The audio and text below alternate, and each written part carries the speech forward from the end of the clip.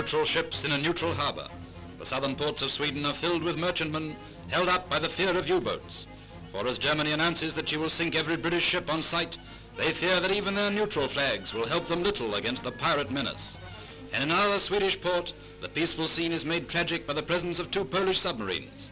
They escaped from the wrath that fell on Poland's land forces, but when their fuel gave out, they were forced into a neutral harbor.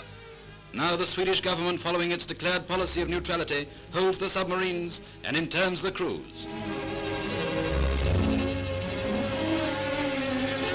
These Polish sailors have escaped death and worse than death. Now they must stand idly by while their country is overrun. But in the words of Mr. Churchill, the soul of Poland is indestructible.